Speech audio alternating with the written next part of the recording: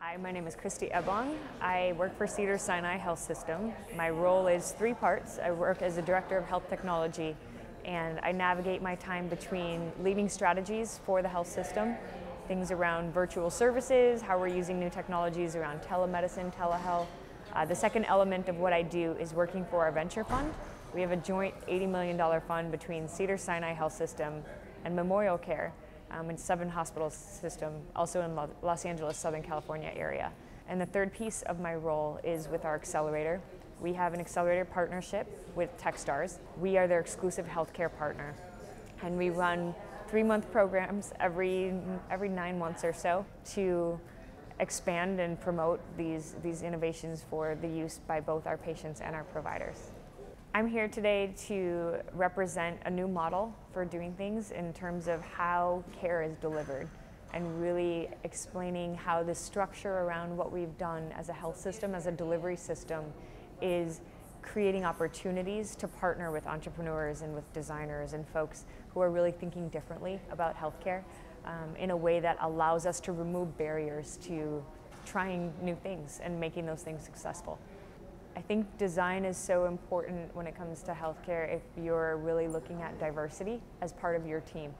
And that's not just the obvious, it's the right thing to do when it feels good. But if we only have young people designing for healthcare, or if we only have um, people from certain ethnic backgrounds, we're missing solutions and ways of thinking that really create whole new opportunities to solve really hard problems. We have a diversity represented in our cohort teams within our accelerator. That's age diversity, gender diversity, ethnic diversity, um, even a lot of folks with different socioeconomic backgrounds. Um, and I think what that brings to the table is people think fundamentally different about how to help different patient populations. Um, and they, they really experience it from the inside. So we combine design methodology and disciplined, methodical ways of approaching hard questions with folks that come with different availability heuristics and different experiences to the table. Nobody really knows where we're going in terms of volume to value. I think we're always going to have a little bit of both. Um, we don't spend a lot of our time trying to say, which one are we going for?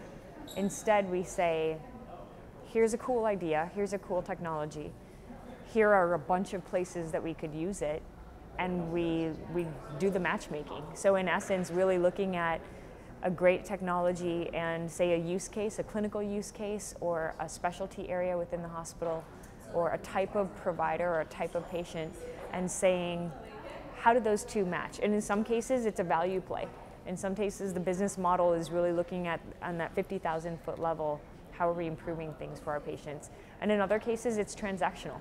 Um, and sometimes it's a little bit of both. And I think the beauty is not in having to make that decision up front. The beauty is in saying, we've got a great idea and really bright people, and we've got a million places that have a lot of pain. How can we marry those two and, and make things happen?